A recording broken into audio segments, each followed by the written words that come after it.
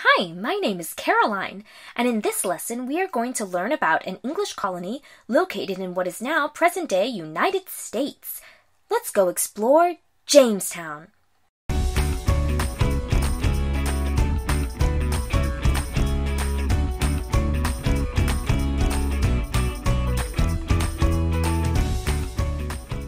While Roanoke and other early colonies were temporary settlements, Jamestown became the first permanent English settlement in North America. In 1607, 104 English men and boys arrived in present day Virginia to start a settlement. Most of those in the settlement were from wealthy upper class families in England and came to the New World seeking treasure. They chose this specific area to form the settlement for two main reasons. First, it was a peninsula a landform surrounded by water on most of its border, while being connected to a mainland from which it extends. Due to the geography of the settlement, the colonists determined it would be easier to defend themselves from an attack. Secondly, the water surrounding the area was also deep enough for the English to tie their boats at the shoreline. We all love a good parking spot. The men and boys named their first new home Jamestown, after their king, King James the First. The settlers quickly discovered their new home was infested with a rather pesky insect, the mosquito.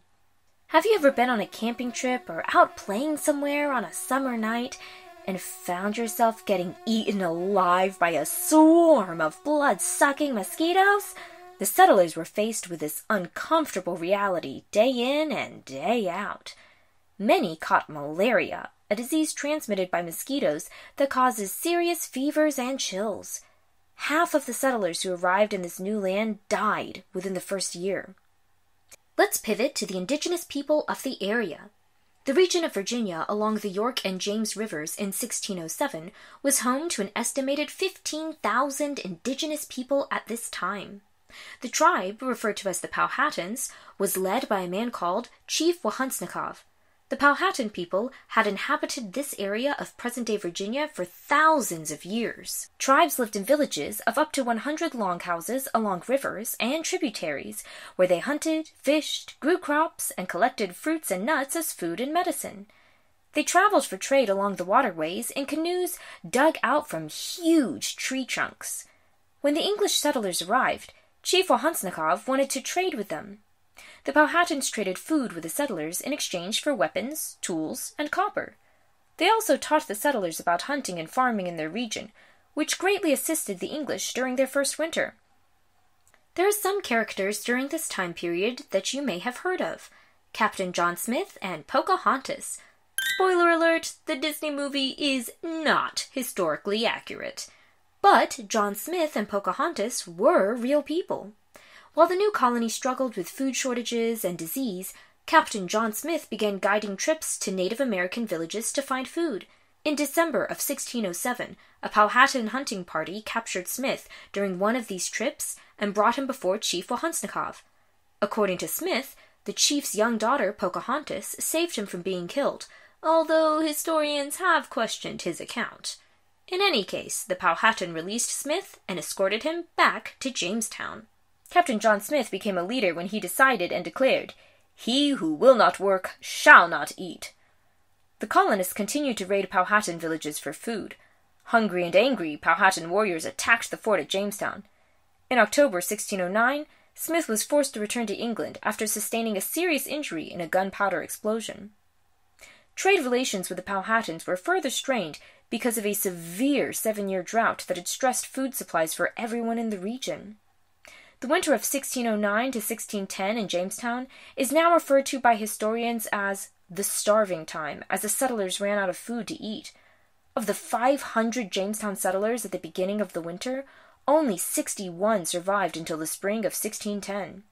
After the difficult winter, additional supplies and settlers were sent to Jamestown to grow the colony. In the spring of 1610, an English colonist by the name of John Rolfe arrived to the colony with a tiny seed that would change everything for the colony that of the tobacco plant. Historians believe Rolfe had obtained the tobacco seeds while trading goods somewhere in the Caribbean. Eventually, the Jamestown colonists learned to grow tobacco, which helped them gain wealth. By the 1680s, Jamestown was producing more than 30 million pounds of tobacco per year. The large tobacco plantations required hard labor. Twelve years after the colony was established in 1619, enslaved people from Africa were brought to America. The 20 enslaved Africans had been kidnapped from present day Angola by the Portuguese and were brought to present day Virginia to be purchased by English colonists. The arrival of enslaved Africans in the New World marks the beginning of over 250 years of slavery in North America. In addition to enslaved Africans, many English settlers were brought to Jamestown as indentured servants. In exchange for the passage, room, board, and the promise of land or money, these immigrants would agree to work for three to seven years.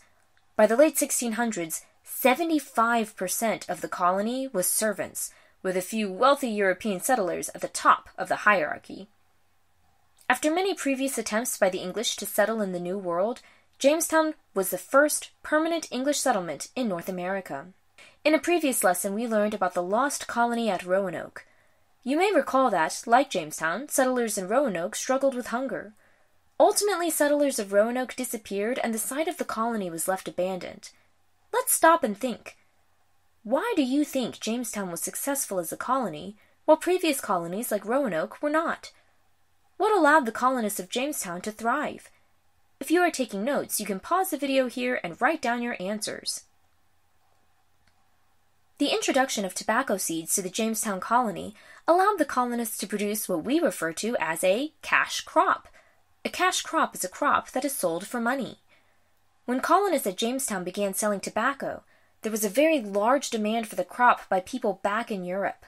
By selling tobacco, the colony was able to produce huge amounts of wealth, which sustained the colony for many years to come.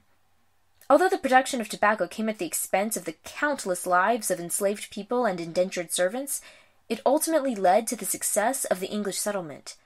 It's time to practice what you learned about the Jamestown colony. And remember, stay curious and keep exploring. You never know what you may discover.